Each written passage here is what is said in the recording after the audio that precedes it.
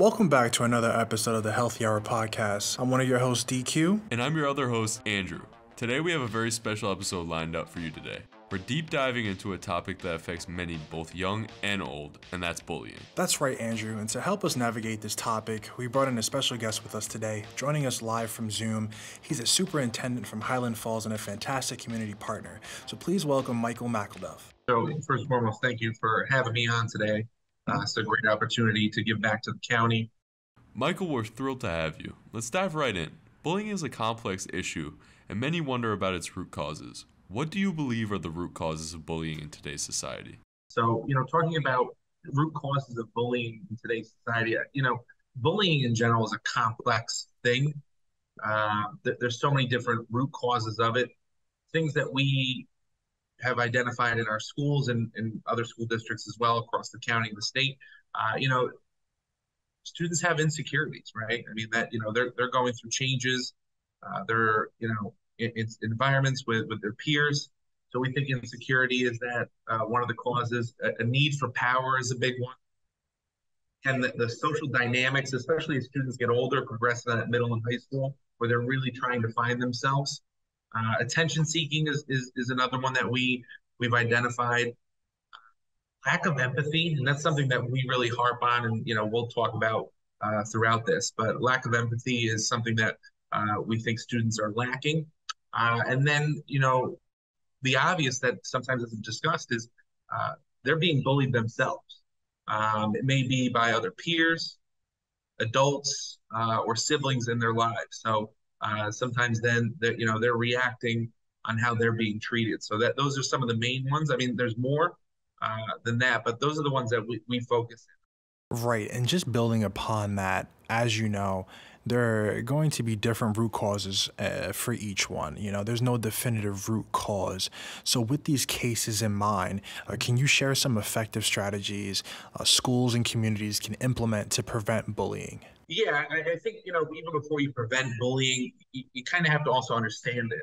Um, when we're looking at uh, an incident or a situation that's brought to our attention, we're, we're really looking at four different things. You know, and so we kind of call it like, what is bullying? So there's a teasing aspect.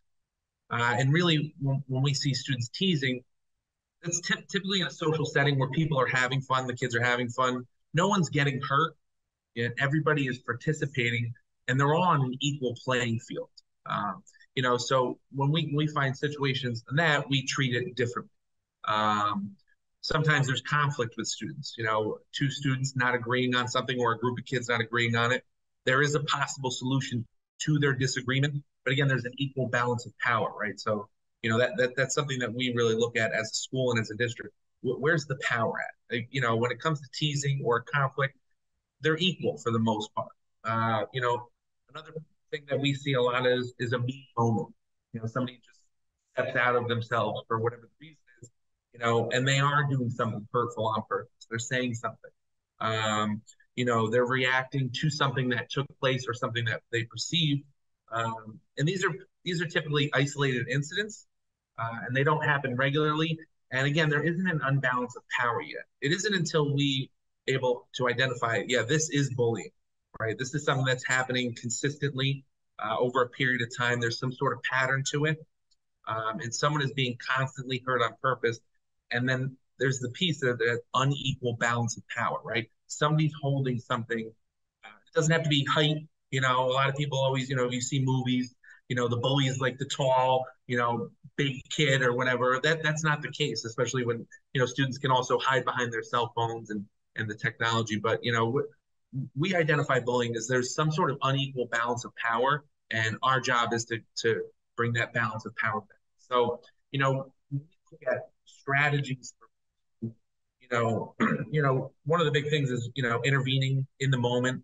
Uh, you know, we're reporting it, we're investigating it, we're following up uh, with it. You know, so th- those are the things that we do if we do deem bullying.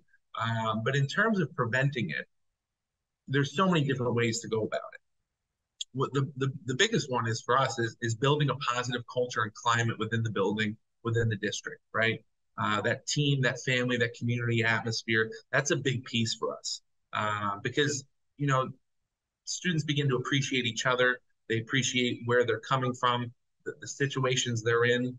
Uh, you know, on top of that, you know, when you're building positive culture climate, uh, celebrating the good of others, you know, shouting out kids for doing the right thing, uh, you know, make you know making that a big deal. Uh, other things that we do, you know, we focus on that SEL, the social emotional learning piece, uh, and that's all about building their own self confidence, making sure they see good in themselves uh, before they see good in others, uh, and learning how to love themselves. And I think those are important. Uh, you can give students all the strategies you want, but if they don't find the good in themselves, and we don't build their own confidence and make them love themselves, then sometimes it's hard for them to, you know, have that empathy for others or or even you know uh, just just be kind because they're struggling with their own their own selves. Uh, you know, other things we do, we do team building, whether it's peer to peer, you know, teacher to peer or adult to peer. Uh, we do community circles. Community circles are a big thing. You know, just because you're sitting with your classmates in a group and you're just talking about a topic, it could be simple as, you know, what, what's your favorite movie? But if you build that uh, community within that classroom, you can start to begin to dive into deeper topics. You know, you build that trust with them, and so th- those are things that we look to do. Uh, again, going back to teaching empathy, uh, that that's a big SEL piece is is uh, you know teaching empathy, and then finally, you know, one thing that we're, we're just starting to do more of since coming back from COVID is collaborating with our parents, right? You know, that that's that's the key piece that we're beginning to really look towards, and I, I think um, you know, COVID put a, a line divide uh, a dividing line between families and schools, and we're trying to bridge that gap now, and, and so collaborating with them and hearing them out. Uh, you know, so those you know, are there more? There's a lot more, but those are things that in our school, our district, we're focusing on, as well as many other districts.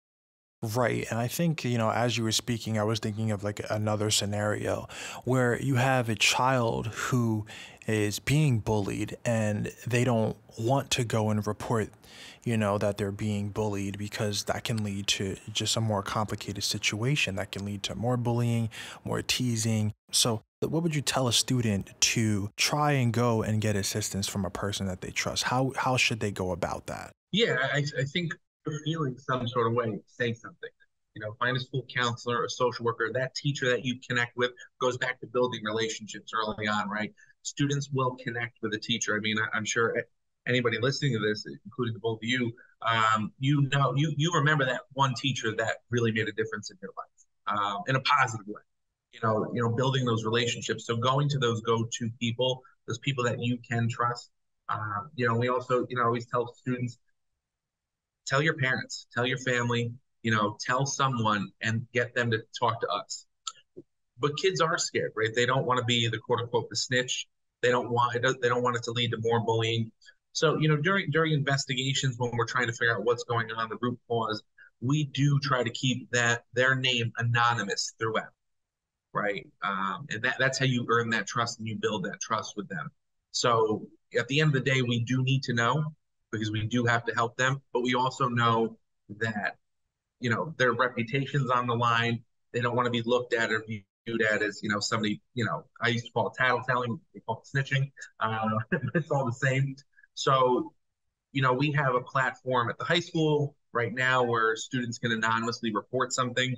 We're working on something similarly at our at our middle school uh, because we know that's an important piece. They don't want to necessarily tell us because they're afraid of the repercussions, uh, which is completely understandable. But the faster they get it to an adult, um, the quicker we can resolve those issues. I think that's a great segue into our next question. How could individuals stand up against bullying when they witness it? Those students, you know, are, are the key uh, because they're they're there, they're seeing it. Um, you know, so we we talk to students in general. You know, if if you feel comfortable intervening, you know, uh, meaning saying something like, hey, that's not cool. Like leave him alone or leave her alone. We always recommend, you know, stepping in, you know, and just saying, addressing it. Like that's not cool. For the most part, when other kids hear that, they do back off uh, because th- that does register, right? Students have a, a great impact on each other, especially as they get older. So if their peers are saying like, that's not okay, you can't say that, you can't do that, uh, they will stop and, and listen. All the time, no, but that does happen. Uh, if students don't feel comfortable or confident enough to intervene, which is understandable, uh, we ask them, you got to come tell somebody. Um, because if it was happening to them, you would want someone on your side and supporting you. So again, we just try and you know open the doors of communication, letting an adult know as soon as possible. Because the quicker you know the school finds out about it, the quicker we can support them. But you know, intervening if they're competent and comfortable enough. If not, you know, letting someone know because they're advocating, right? Uh, they're advocating for a friend or just a bystander, right? Just someone that they saw something wrong. Uh, and we praise those kids because that's what we're trying to build good character and kindness, right? So the kids that are standing up for others, those, those are important. You know, those are those are leaders that we need to lean on more. Uh, so uh, you know, we, we we want witnesses to to be more than just witnesses. We want them to advocate for for their friends. Michael, for those who might be experiencing bullying right now, what resources would you recommend? You know, when it comes to to you know resources, you know, it it, it, it sounds like I'm just saying the same thing, but it, it it's you gotta you gotta find that that adult, that trusted adult. You, you have to tell them. Uh, we see all too often where it'll go days, weeks, nobody has said anything, um, and so really, you know, and if they don't feel comfortable saying something at school, they got to tell their parent. And on that back end, that parent then needs to call us immediately. You know, uh, you know, I come from the age where my parents, if something went on in school, they said, "Well, you got to figure it out." Um, and so nowadays we're saying, no, no, don't do that. Just let us know. That way we can help, right? Especially, you know, when you're talking about, you know, technology based with cell phones and things, you know, a lot of things happen on the weekends or after school hours. That's, you know, that's where, uh, you know, some of that unstructured time is, and they got a lot of downtime. And, and a phone is a powerful tool um, for good and for bad, like you had stated. So when things happen, we always say, even if you just email us on the weekend, just send us, hey, something happens, uh, you know, uh, you know, please please look into this or give me a call. Again, you know, students have to find that trusted person. Um, you know, and sometimes it is a friend, but normally it's an adult. So we we again, you know, just you know, can't stress it enough to families, uh, you know, parents, uh, students. Find that adult, let them know, uh, and, and, continue to make yourself make it make it known that you're struggling. Uh, because the longer we let things go, the worse it can be. But the quicker we find out we can help. We do have supports to to help that. You know, our school counselors, social workers, our school psychologists. You know, the nurse is a great person to go to. Um, you know, a- anybody you know that you feel comfortable, but but our counselors, social workers, they're equipped with the tools and the resources to to connect with kids and, and kind of get to the root causes of things. So we're administrators as well, but you know, students shy away from telling an administrator things because they automatically assume they may get in trouble for it. But you know, go, go to go to those other safe places is, is really what we say. And there there are things online. You know, we have resources on our website as, as every other school district does. You know, uh, there there are hotlines and, and things to go to look up if you're being bullied or teased. There's FAQs for parents. You know, on, on ways to do it. So we are giving out a lot of information. Um, you know, this is the information. You know, there's so much information out there. I think sometimes it overloads people. Um, but yeah, the resources are we have plenty. But at the end of the day, you got to tell somebody as soon as possible. Lastly, and perhaps most importantly, how can we foster a culture of empathy and understanding to discourage bullying behaviors? Yeah, you know, you know, some things that we, we, we foster in our schools specifically. Uh, you know, something that just came up, uh, Unity Day, right? You know that that's you know, this is October is, you know, bully prevention month. Um, you know, so Unity Day is, is a big deal for us. Um, you know, and that's really, we're just talking about promoting kindness, acceptance, inclusion, uh, you know, working, you know, along with our, our, DEI committee to promote diversity and inclusion throughout our schools. Uh, so students see that, you know, people come from different backgrounds, um, but but but that that's what makes us such a great place uh, that we can learn from each other uh, again, you know, you know, going back to that, promoting that empathy. Uh, you know, another thing that we are, are doing more of is safe school ambassadors. Uh, that's that's a student-centered model that educates our students with the skills to prevent and reduce bullying. And that goes back to that bystander piece. Um, you know, educating students, you know, through the safe school ambassador training. Um, you know, we're, we're equipping our hallways and our playgrounds and our cafeterias with students that can identify if, if there's a negative situation going on. And now they're equipped with either to intervene or connect with adult, check in on that child that may have been teased or treated unfairly.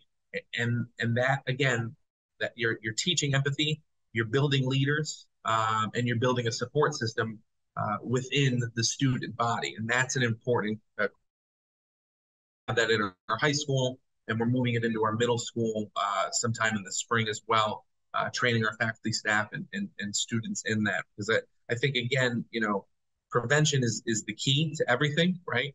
Um, and so giving our students the tools uh, with something like a Safe School Ambassadors, um, getting them more involved with our DEI committees, uh, you know, just understanding the good in others and being kind is is cool, quote unquote. And, and with all that, I think that really just uh, teaches empathy. And, and that's our end goal, right? Is, is to teach empathy because you don't know if someone's just having a bad day. Um, and, uh, you know, and being able to accept that we're not always perfect. Uh, but if we work together and we communicate with each other, you know, we can make a positive school environment. Uh, and that's really what we're all, you know, you know, striving for at this point. Michael, I just want to thank you so much for shedding light on this critical issue and providing some actionable insights about bullying. So, we truly appreciate your time and expertise, and we enjoy having you coming on our podcast today and discussing this critical topic, which is bullying. So, thank you very much for um, agreeing to this and coming on here and just highlighting this topic. Definitely. And to our listeners, thank you for tuning in. Remember, change starts with us. Let's be kind, understanding, and supportive to all. So until next time, stay healthy and stay kind. Take care.